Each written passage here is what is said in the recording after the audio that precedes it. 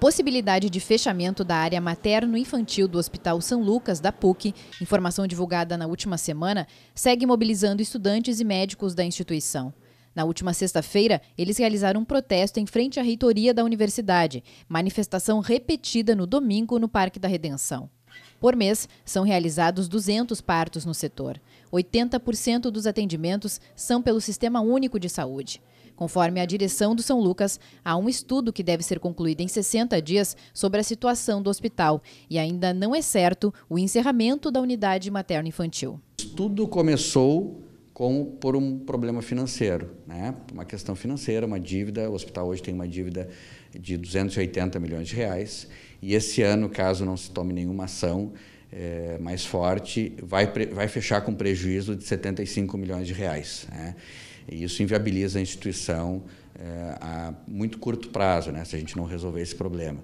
É, e dentro desse estudo aí é que se pensou no reposicionamento do hospital para atender as necessidades da nossa é, comunidade. Aqui nesse, a gente tem um serviço de referência em várias especialidades, tanto UTI pediátrica quanto UTI NEO, ambulatório, cirurgias. A gente tem um programa de, de cirurgia da epilepsia que é mundialmente reconhecido. Nós temos pacientes que vêm de outros países para fazer esse tratamento aqui que oferece cura e tudo isso vai ser perdido. Tudo isso a população vai perder porque não tem como realocar em outras, em outras localidades o que a gente tem aqui. O nosso compromisso é, é juntamente com a Secretaria Municipal de Saúde, que tem sido uma grande parceira, manter o atendimento à população, é, né, a, nossa, a nossa população, a nossa sociedade, e também manter a qualidade do ensino, que é, um, é um, digamos assim, uma premissa básica da Universidade da PUC. Né, e a PUC certamente não vai é, deixar é, que a qualidade do ensino caia, né, vai lutar e vai se esforçar ao máximo para que essa qualidade seja mantida. Os serviços não foram chamados para pensar soluções juntos. No momento, a gente, depois que foi levantado, que a gente brinca que o caos está instalado, foram feitas contrapropostas que não tinham sido solicitadas antes e que a gente está aguardando. A gente espera que realmente a reitoria e a direção do hospital avaliem com carinho o que está sendo proposto. E que, de preferência, na verdade, isso se torne uma discussão, isso se torne uma conversa de como resolver o problema e aonde. O CIMERS, Sindicato Médico do Rio Grande do Sul, se posicionou contra o fechamento do setor materno-infantil do São Lucas e lançou uma campanha pela manutenção do serviço. Na sexta-feira, o sindicato promoverá um encontro com diferentes entidades médicas para debater o tema. O produto interno bruto do Rio Grande do Sul aumentou 2% no ano passado. A informação foi divulgada hoje pelo Departamento de Economia e Estatística do Estado, o DE. O PIB gaúcho teve desempenho superior à média nacional, que chegou a 1,1%. Os setores industrial e de serviços registraram elevação em torno de 1,5%, mas a agropecuária, com crescimento de 6,2%, teve o maior peso nos resultados. Segundo o DE, o quarto trimestre de 2019 contrariou a tendência, com retração de 0,3%, mas os períodos anteriores compensaram a queda. As tarifas de pedágio das rodovias administradas pela CCR Via Sul vão ter o primeiro reajuste desde que o contrato entrou em vigor no início do ano passado. O aumento foi autorizado pela Agência Nacional de Transportes Terrestres e começa a valer a partir da meia-noite de sábado. O percentual é de 4,31%, passando o valor em praças como de Gravataí, na Freeway, para R$ 4,60, no caso dos carros de passeio, e ficando entre R$ 9,20 e R$ 27,60 para caminhões, dependendo da quantidade de eixos. Já em Santo Antônio da Patrulha, os automóveis pagarão R$ 9,20 e os caminhões entre R$ 18,50 e R$ 55,20.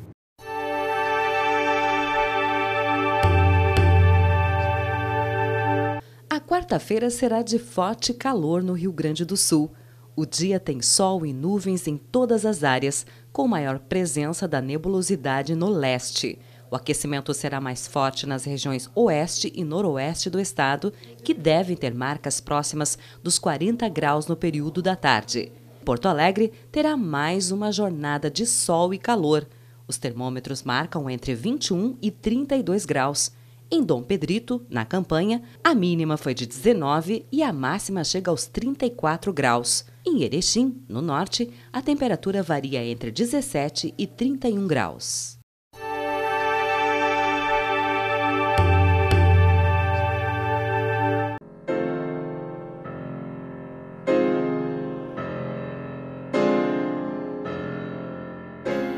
Se alguém perguntar de onde você vem, pode ser que você pense em uma cidade ou então em um país, talvez uma comunidade ou uma casa. Essa pergunta levou Marisa Carpes para espaços de sua memória e trouxe à tona afetos. O barulho da máquina de costura, as brincadeiras de guria, o jardim, a mãe. Na exposição Digo de Onde Venho, a artista divide conosco essas lembranças em forma de imagens poéticas. As pessoas olham com esse olhar intimista, com esse amor, lembram a infância, a mãe, a avó, as coisas que, que, que fizeram elas felizes no passado. A máquina de costura que foi da minha mãe, foi dela e foi de uma tia-avó, ela tem mais de 100 anos. O manequim foi feito no Rio de Janeiro, quando nós morávamos lá, feito no corpo dela. Eu, fui, eu restaurei para exposição. O relógio que bate a 15 minutos eu foi, foi parte da minha infância, ao menos dos oito anos em diante eu lembro desse relógio. Então, se eu paro no meio daquelas duas salas e fecho os olhos, que nem a, minha, a menininha do banner, que eu adoro aquele trabalho, eu escuto os dois barulhos e realmente eu entro numa, no fundo da minha memória, nas águas mais profundas, pelos sons. Então, trazer para a exposição o meu mundo.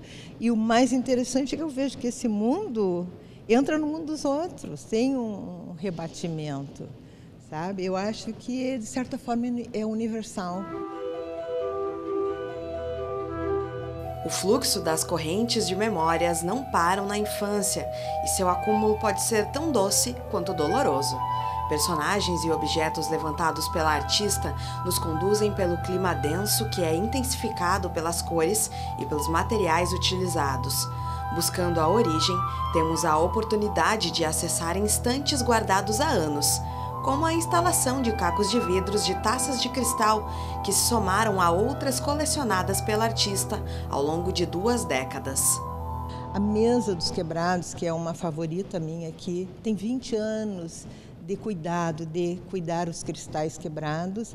E ela começou de uma forma interessante, que foi um pássaro que entrou na minha cristaleira e quebrou numa sentada 53 taças de cristal.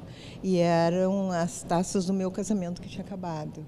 Então aquilo foi muito forte para mim. O que eu fiz, eu guardei sempre com a intenção de usá-los.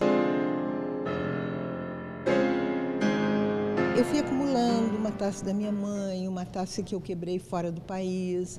Alguém disse, ah, mas estou com essa taça tão linda, quebrada, pode, eu quero. E assim eu pensei na instalação. E eu acho que foi a forma mais adequada de mostrar esses 20 anos de cristais quebrados. Que as pessoas olham, eu mesmo olho, oi, tem, tem esse peso assim.